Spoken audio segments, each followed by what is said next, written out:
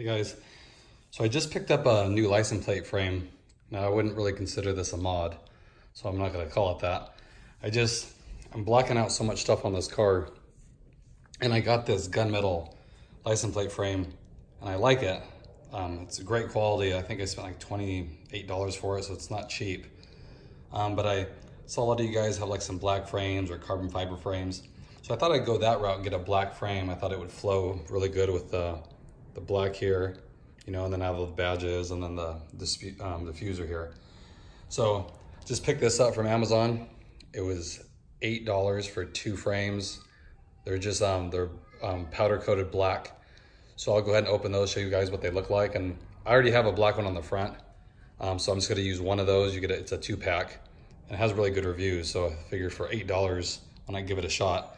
So very subtle difference. I just think it'll this is so much like the silver. It kind of blends right in. I think the black frame will kind of go with my black um, plates too. So I'll go ahead and switch that and show you guys what the black frame looks like. Okay guys, so here's what you get in the pack. You get all the hardware you need. I'm gonna use the existing screws I have because the threads are usually different with the ones they give you, but they give you the little retainer clips and then the black caps to match. And you get two frames here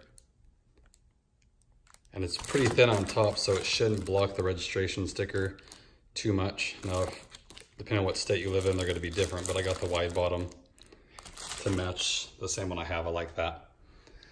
Okay, so I'll go ahead and install that and I'll show you guys what it looks like. And so here's the, the um, gunmetal and then, and here's the final product guys. Really nice, just very simple, nothing crazy, just it's a matte black. There's a lot of fingerprints on it now, but um, just powder coated stainless steel. I like how it looks. I mean, something so subtle, it's not like a huge thing. But I just, um, I like the gunmetal. If you had any other car, it'd probably look really good like a modern still. But it just looks so much like this, it's almost dead on. So I thought, since I have this black and you know all the badges and the smoke tail lights, why not just go with the theme? And I like it because it blends with uh, my personalized license plate too. So it's all black, very simple. Like I said, $8 for a two pack and it gives you all the stuff you need. So if you guys are looking for a inexpensive license plate frame, I would suggest this one. I'll put the link below. Got it from Amazon.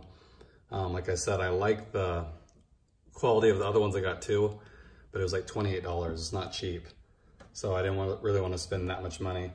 So just went this cheaper route. We'll see how long it lasts through the winter and stuff, but for eight bucks for two of them, I can switch it with the other one if I want. So just a very subtle change, but I think it goes with the theme.